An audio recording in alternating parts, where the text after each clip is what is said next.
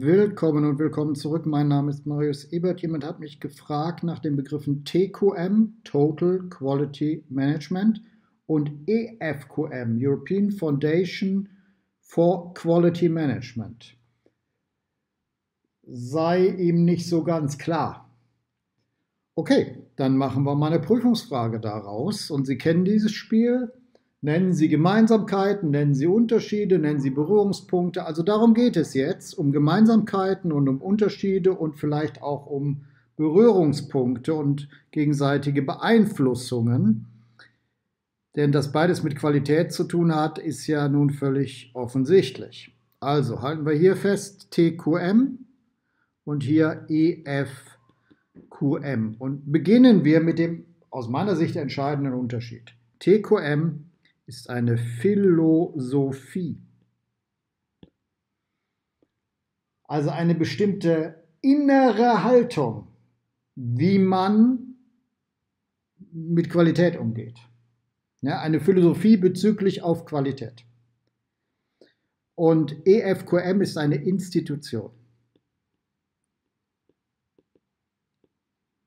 So, eine Institution.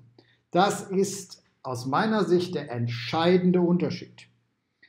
Und da TQM also eher eine Art geistige Haltung ist und EFQM ein konkretes Institut mit Mitarbeitern, kann man sagen, dass EFQM so eine Art Materialisierung dieser Philosophie ist. Ja, also man kann durchaus sagen, dass diese Philosophie TQM zum Beispiel beeinflusst hat, dass EFQM Modell ja, beeinflusst. So, da gibt es also ganz klare Berührungspunkte und noch eine weitere Gemeinsamkeit verrät ja schon hier das Wort.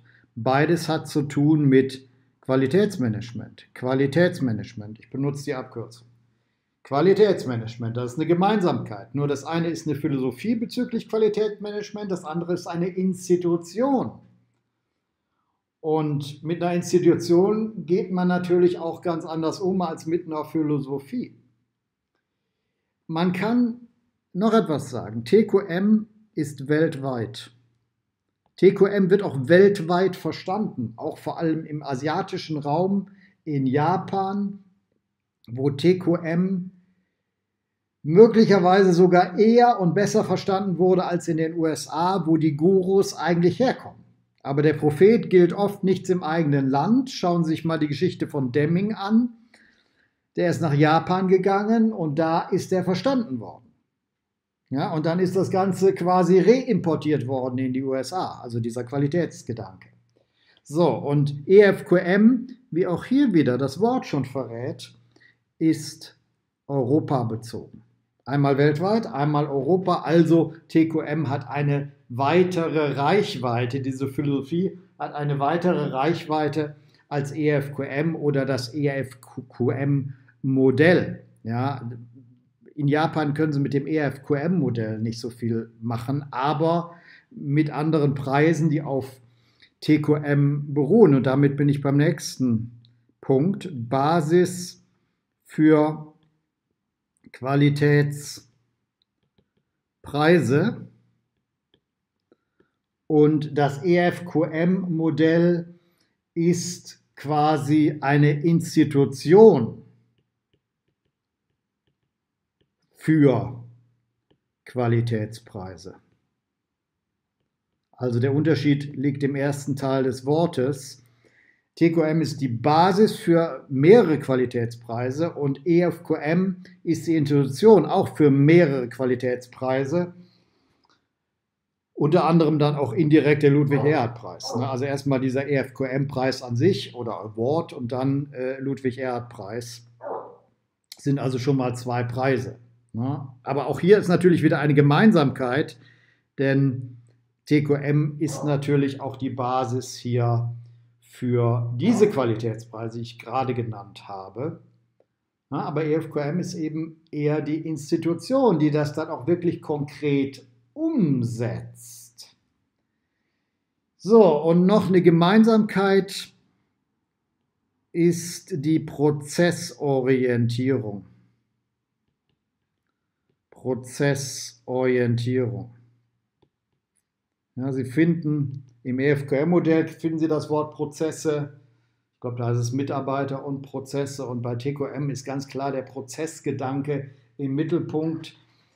Man sagt nicht, Menschen machen die Fehler, sondern Prozesse machen die Fehler. Das heißt, man muss Prozesse so gestalten, dass die Möglichkeit, Fehler zu machen durch Menschen möglichst komplett ausgeschlossen ist. Man setzt also weniger auf die Menschen oder sagen wir mal erst an zweiter Stelle und in erster Stelle auf den Prozess. Und wenn irgendwo ein Fehler auftaucht, dann guckt man nicht als allererstes, wer ist jetzt schuld und wer kriegt jetzt äh, die ganzen äh, negativen äh, Dinge, die damit zu tun haben, mit, ja, sondern man guckt, wie kann man den Prozess verbessern, damit so etwas nicht passiert. Es kommt also eher darauf an, die Mitarbeiter zu schulen, die Prozesse einzuhalten, als die Mitarbeiter unmittelbar in Qualität zu schulen. Das ist also ein indirekter Weg.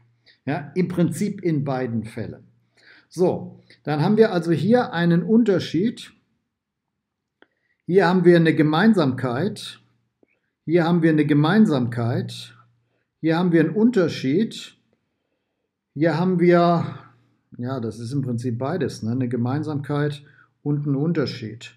Philosophie kann immer nur Basis sein und EFQM ist halt die Institution. Trotzdem ist, hat das eine das andere beeinflusst, also im Prinzip beides und Prozessorientierung ist wieder eine Gemeinsamkeit. So, also das ist das, was mir dazu einfällt, ohne Anspruch auf Vollständigkeit, aber so würde ich eine Lösung generieren, wenn mich das jemand in der Prüfung fragte. Ne, nennen Sie Gemeinsamkeiten und Unterschiede von TQM und EFQM. Und ich glaube, wenn man sich den entscheidenden Unterschied merkt, und das ist der hier, TQM ist eine Philosophie, und EFQM ist eine Institution. Ah, vielleicht noch ein Punkt. Ne? Institution hat immer einen Sitz. Ne? Also der Sitz hier ist Brüssel und eine Philosophie hat keinen Sitz. Ja? Also haben wir hier wieder einen Unterschied. Ja? So, das ist also der entscheidende Unterschied. Einmal Philosophie, einmal Institution. daraus, denke ich, kann man sich den Rest herleiten. Alles Gute, Marius Ebert. Für Lernhilfen und Prüfungstipps klicken Sie auf den Link unter diesem Video.